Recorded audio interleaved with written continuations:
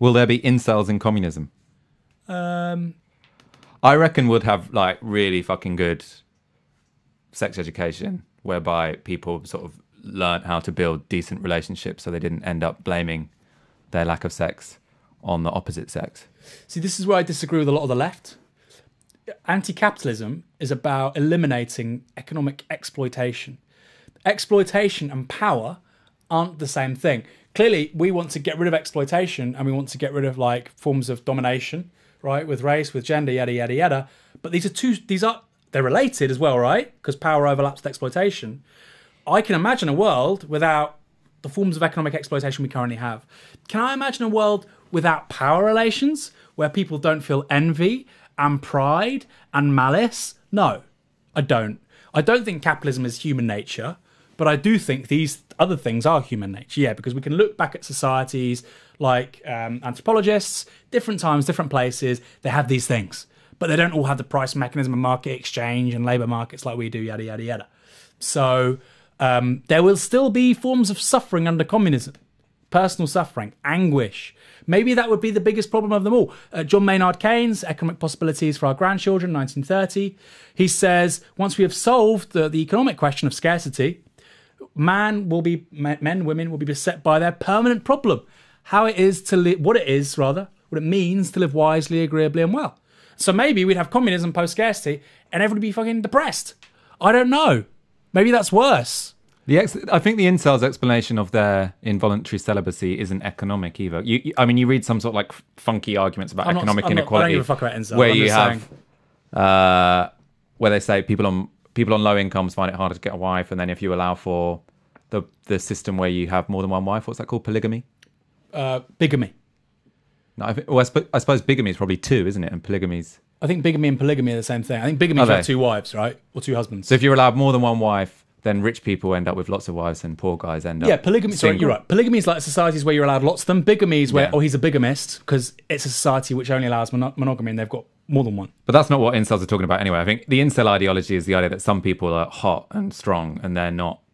They're too nice. Give me a break. And so they don't get to have sex. This is like. But this- I think the weird, I think the weird social structure that leads to these people having these weird, funky beliefs. Hopefully, we'd get rid of in a more decent society. We don't actually need communism to get rid of incels. We could just have. just go work out.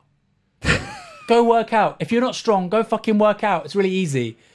You have like ATP in your body. You have hormones in your body. It means your muscles will grow. I think. go work out. I think a lot of these. I suppose they might go to the gym and start a meaningful relationship and end up being like less fucking weirdo cranks on the internet. Just go work out. You don't need communism for that shit. It's true.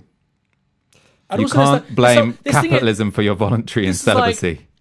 this thing like where I've only realised it in the last few years, and I sort of younger female friends I talk about this too.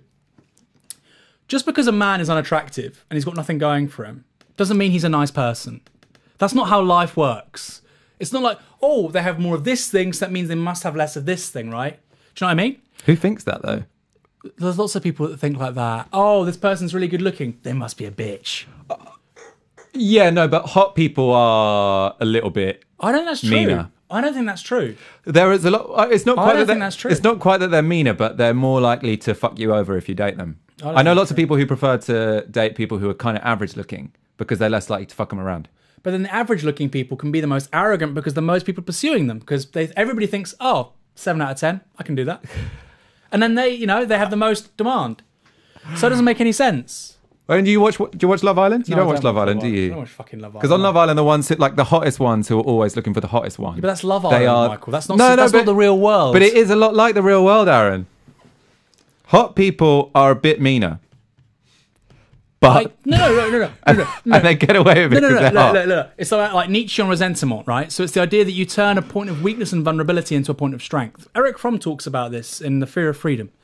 And so what they do is they say, well, actually, this thing which is really fucked up and a point of anguish for me, I um, I transvaluate it, as Nietzsche would call it, into actually something good and pure. And this suffering was for a reason to make me a better person than this other person. No, the suffering was for no reason whatsoever. It was completely morally neutral. You were born less attractive than this person. Deal with it. Go to the gym. You know, have a nice haircut. Wear some nice clothes. Maybe with a bit of luck, a bit of personality, some good jokes. you'll be better than this person. that shit thing in your life, it doesn't give you some moral worth. It's just shit. I'd love to be six foot three and not age and have beautiful teeth. When I was 13, somebody punched me in a rugby match and they're fucked up. Okay, that's life. Deal with it. Night Stark has asked if under communism all gyms will be free. They should be free already. I mean, we only need social democracy to have free gyms and free swimming pools for everyone.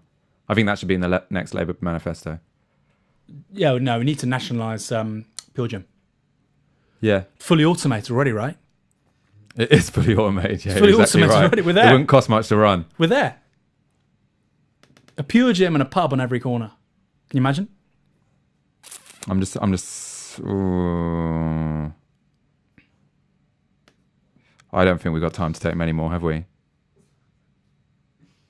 Nice guys finished last. Trotsky.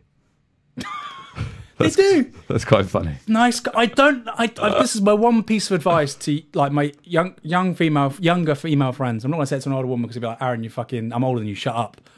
Don't ever trust a man who thinks they're a nice person. Never. They'll fuck you over. They will fuck you over because they believe that they're absolved of patriarchy. They don't think they participate in it because they're so nice. Bullshit.